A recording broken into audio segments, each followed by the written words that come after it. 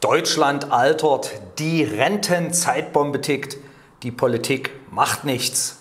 Mein Name ist Peter Knöppel, ich bin Rechtsanwalt und Rentenberater von Rentenbescheid24.de. Die Uhr tickt, und zwar im wahrsten Sinne des Wortes, wenn die Verantwortlichen in der Politik nicht umgehend handeln, und zwar spätestens bis 2025, kann es zu katastrophalen Zuständen in der gesetzlichen Rentenversicherung kommen und auch für Millionen Rentnerinnen und Rentner und auch für Versicherte.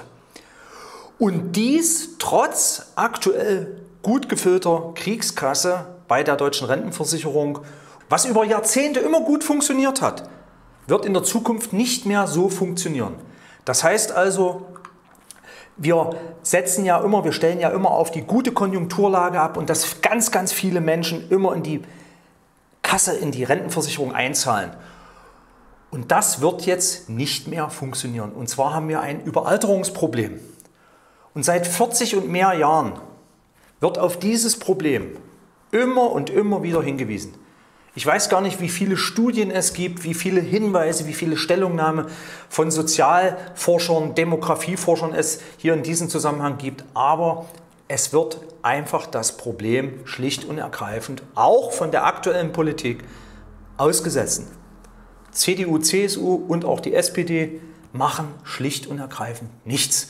Und wenn Sie sich die Wahlprogramme dieser beiden Parteien zum Beispiel angucken, aber auch die anderen Wahlprogramme der äh, Parteien, die sich zur Bundestagswahl am 26.09.2021 zur Wahl stellen, finden Sie zum Thema Altersdemografie und die Bewältigung der Altersdemografie in Sachen Rente so gut wie nichts.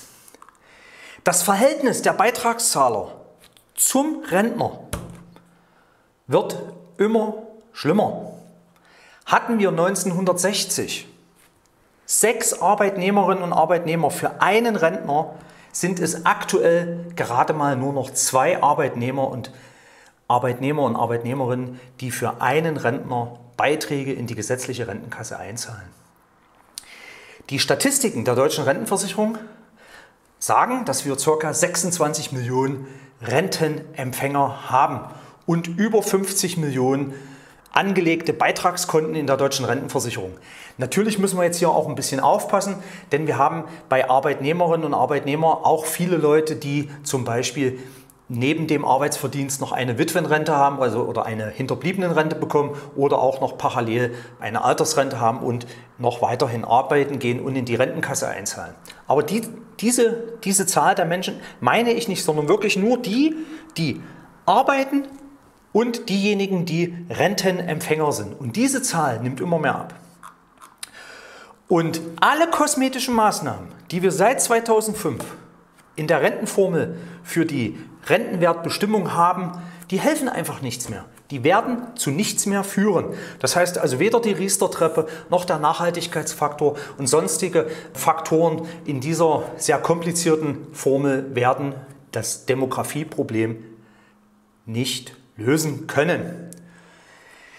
Bis zum Jahr 2050 ist prognostiziert, dass wir ein Verhältnis haben 1,5 Beitragszahler für einen Rentner. Und dass dann dieses System der Umlagefinanzierung nicht mehr funktionieren kann, das dürfte jedem klar sein. Wenn wir an diesem System, an dem derzeitigen System auch über 2025 weiter beibehalten wollen oder weitermachen wollen in, in der Umlage, bedeutet das nichts anderes als massiv steigende Rentenbeiträge, eine Erhöhung des Bundeszuschusses aus Steuermitteln für die Rente, da wird einem schwindlig. Wir haben ja jetzt schon aktuell über 100 Milliarden Euro pro Jahr, den der Staat, der Haushalt in die Rentenkasse zusätzlich zu den Beitragszahlungen einzahlt. Und was noch dazu kommt, das Renteneintrittsalter müsste massiv steigen und die Leistungen in der gesetzlichen Rentenversicherung würden dann auch deutlich sinken. Das werden wir dann sehen an einem deutlich gesunkenen Rentenniveau. Um das bestehende System, so wie wir es jetzt haben, zum Beispiel nur stabil halten zu können, das heißt also, da gibt es keine Verbesserungen oder sowas, bräuchten wir über 300.000 Menschen, die jedes Jahr neu als Beitragszahler in das Rentenversicherungssystem ein, äh, einzahlen. Also sprich auf Deutsch gesagt, in Deutschland einen Job aufnehmen, der sozialversicherungspflichtig ist. Damit würde das DAV-System nur stabilisiert werden und nicht verbessert werden.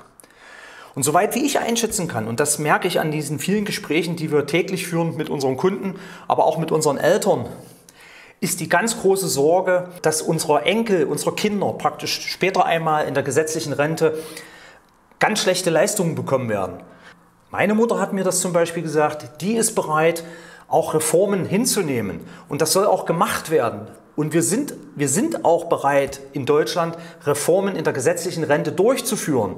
Man muss sie einfach nur angehen und die handelnde Politik muss endlich hier was tun. Die Einführung einer echten, umfassenden Erwerbstätigkeitsversicherung, die Abschaffung der Riester-Rente, der Rürup-Rente und die Abschaffung der bestehenden gesetzlichen Betriebsrente in der aktuellen Form. Da werden jedes Jahr Milliarden an Steuersubventionen rausgepulvert und die Menschen haben eigentlich in Wirklichkeit von diesem ganzen Irrsinn, den man, in den, den man seit 2005 hier geschaffen hat, nicht wirklich etwas. Wenn wir also etwas tun wollen für unsere Rentenversicherung, dann müssen wir jetzt handeln. Wir können uns auch immer das Beispiel vor Augen halten in Österreich, wie die es machen, weil die haben nämlich nur die eine Rentenversicherung und dort bekommen die Leute wirklich relativ gute Renten und vor allen Dingen auch armutsfeste Renten. Liebe Politikerinnen und Politiker von der CDU, CSU, SPD, die Grünen und so weiter, nehmt das Heft des Handelns endlich in die Hand und fangt an, hier wirklich etwas für die gesetzliche Rente zu tun.